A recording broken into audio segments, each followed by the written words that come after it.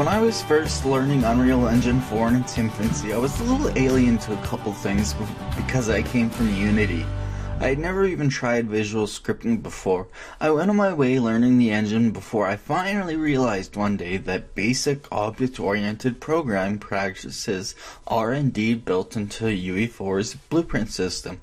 This was a major relief to me since I could still think more like a programmer and less like I was just wiring up breadboards. So today I'm going to show you how to use base classes and construction scripts to get basic 101 inheritance and object-oriented programming practices to save you a bunch of time scripting blueprints in your projects. So let me introduce myself, Insomnia from UnrealTek, the division of BlenderTek, and welcome to another video. If you enjoyed it or learned something, consider liking and subscribing for more Unreal, Blender, coding, and all sorts of other CG related videos. Lastly, don't forget our motto create your way. So let's jump right in. The first thing we're going to do is create a new blueprint script. So we're going to right click and we're going to hit blueprint class we're just going to choose actor, the most common blueprint script you can get. An actor is anything that can be placed in the game world. We went over that in one of our one-on-one videos. That is some of these stairs and blocks. That's the text, the spinning icon, the player, the camera, this player start icon. Everything is an actor, basically. And let's call it something like base box. We'll make all our boxes inherit from this. So all our boxes are going to have the exact same details as the base box, except they'll have their own unique ones. So anyways, let's open base box first up. So mm, of course, as usual, the first thing we see is a viewport, the construction script, and the event graph. Now, remember, you won't see the little circle. It's just to show you that it's that it's there for an actor. Let's instead add a component, static mesh. Now, we're not going to choose a static mesh. Next, let's go to our construction script. Usually, you would work in your event graph, and I see a lot of work where people just leave the construction script blank. They don't know what it does because there's there's no tooltip over it. People don't really know it, don't know what it does. There's a little bit of help here, but it doesn't really tell you unless you really really dig into it. This is where this comes in. So basically the construction script, it'll fire off its line whenever it's modified or updated, spawned in the world, placed in the world, whatever. So you can do a few things with that. You can use this to say change the color of an object in here whenever it's rotated 90 degrees. You can use it to add a cube at a certain time based on say a variable called number of cubes for procedural content, but the the first thing I use it for, and the first thing I learned to use it for, was basic object-oriented programming practices, and that is so other classes could can inherit from it. So let's start off very very simple. We're going to drag a wire off of our construction script, and we're going to search for set static mesh. Now you'll see we get set static mesh static mesh we don't want that. We want to uncheck it. We just want the set static mesh node itself. Otherwise, this won't work properly and won't be true OOP inheritance.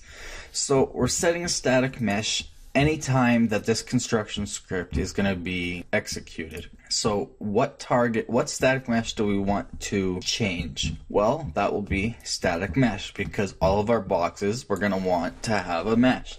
In fact, maybe let's rename static mesh to box mesh. That way we know exactly what, what we're to have. Now let's create a new variable. Let's just call it box mesh to show. And if we hover over this little dot here, it says it wants a static mesh reference. So let's choose our variable. Let's go to variable type and let's search up static mesh.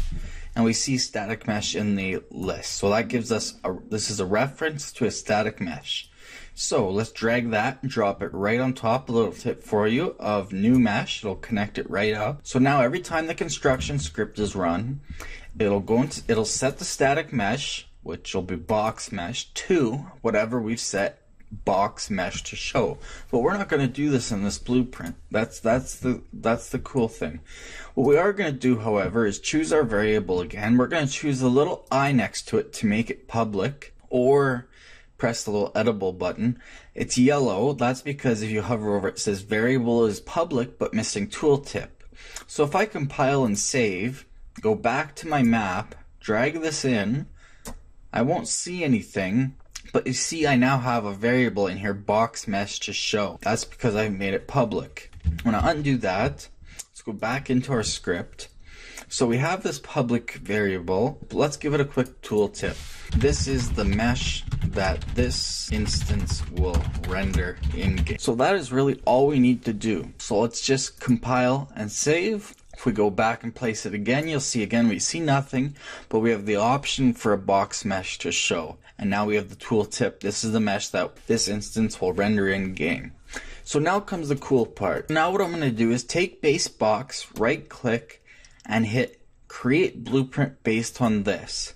And you'll see instantly it pops up base box child. And you'll notice that our parent class, it isn't the usual actor.h, static actor.h, player controller.h. It's base box. And we can even click this little icon to find parent in the content browser. It'll bring us right back to our base box. Same with the little gear icon. It'll actually open the base box so we can do quick editing. This allows you to very quickly create objects that are based off of, in this case, base box that hold this data but has its own unique data. First though, let's give it a better name. Base box child was pretty generic. If we had, say, 50 types of boxes, that could get very confusing. Basebox child, basebox child, child, basebox child, child, child.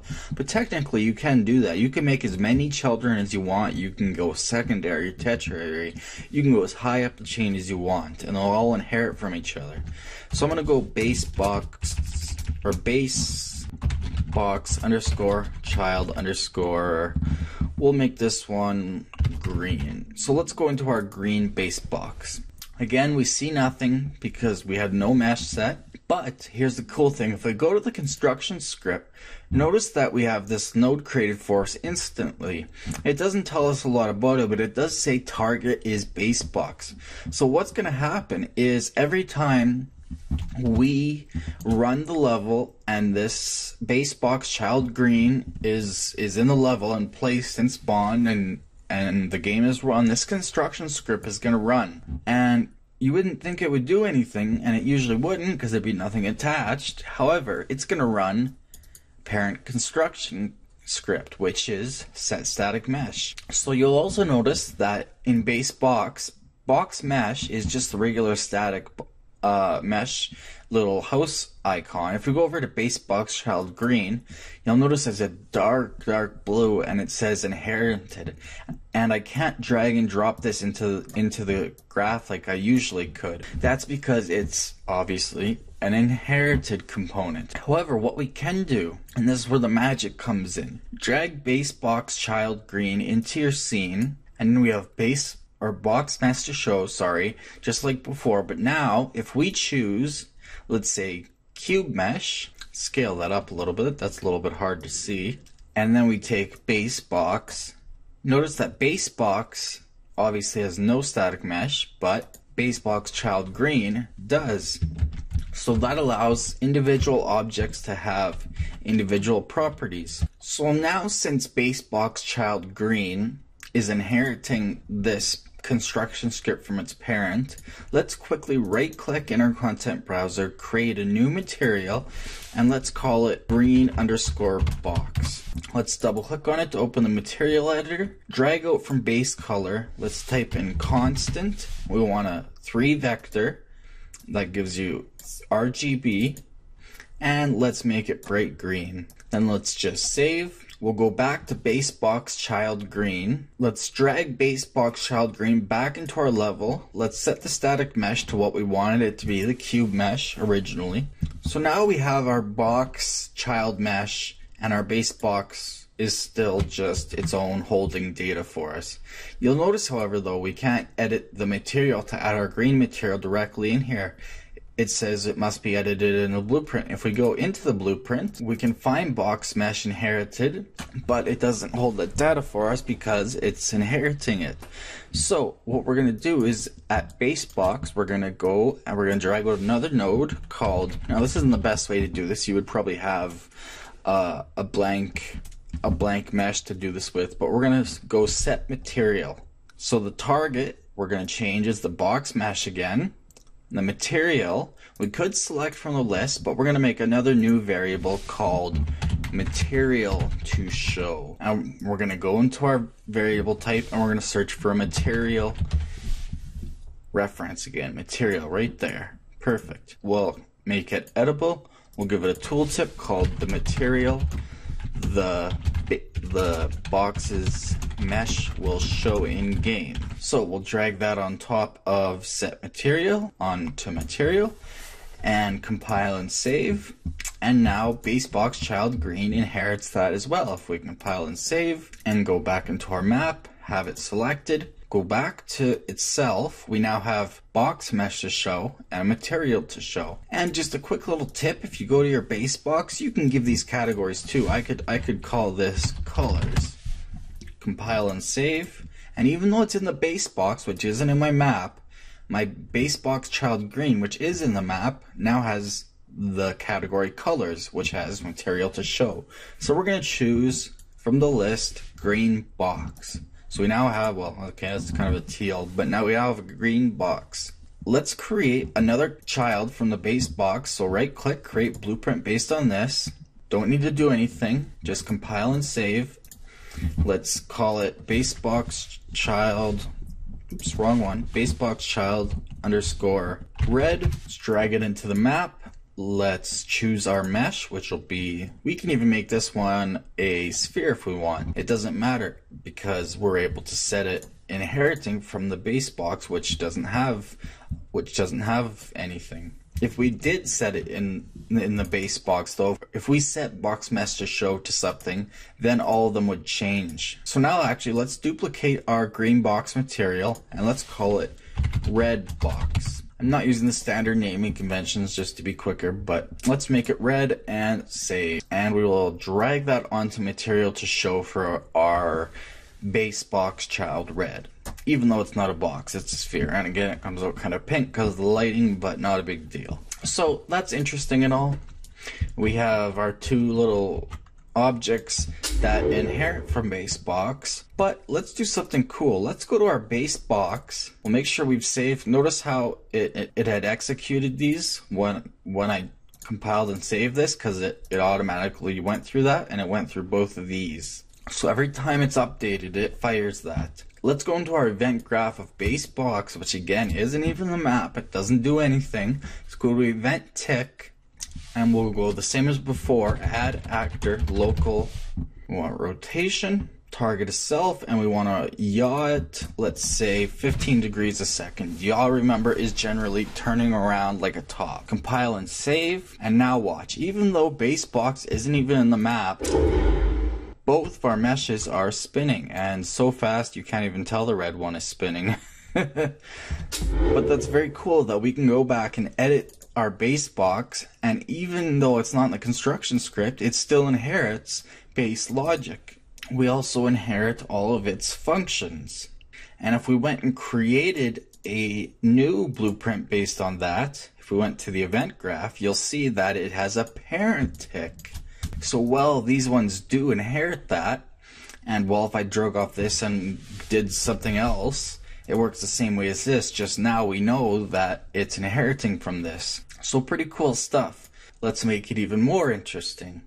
Let's go on red. Let's say on clicked, print string, red, compile and save that. Let's go to our green, on clicked, print string, green, now, we need to take our third person character and enable the cursor so we can tell what we're clicking on. I'm not going to go into detail, but you're definitely welcome to watch very quickly.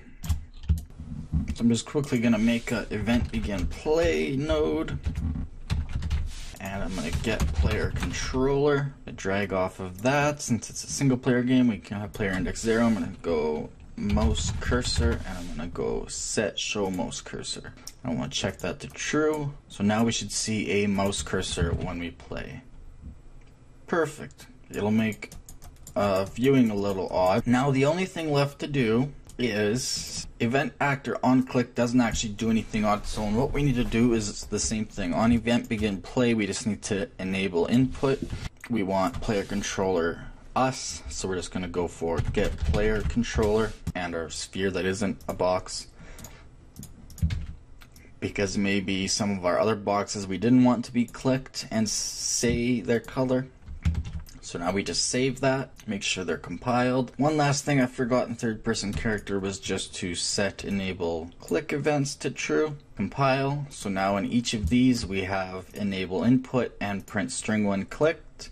They're compiled and saved. Now when we hit play, when we click on them we get red, you can see it firing off even, and green. If we were even smarter, we could take enable input and get player controller from basebox child red and basebox child green since they share the same behavior and we could put that in basebox.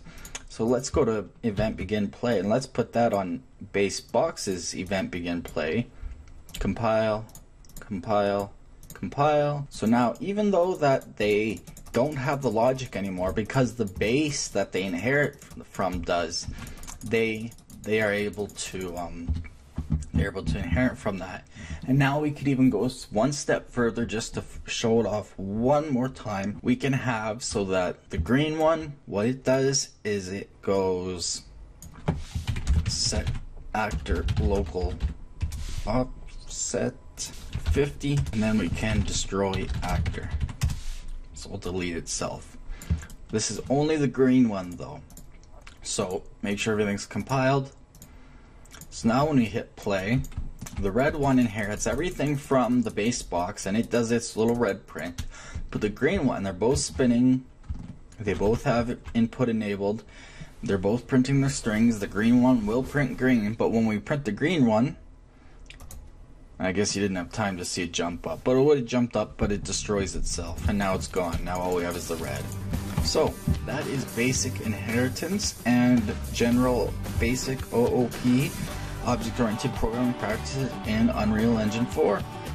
I hope you guys learned a little bit in my early morning video. Thanks for watching again from the team here at UnrealTek, a division of BlenderTek.com. If you enjoyed this video and learned something, please like it. Don't forget to subscribe for more videos. We're on social media on the links on your screen.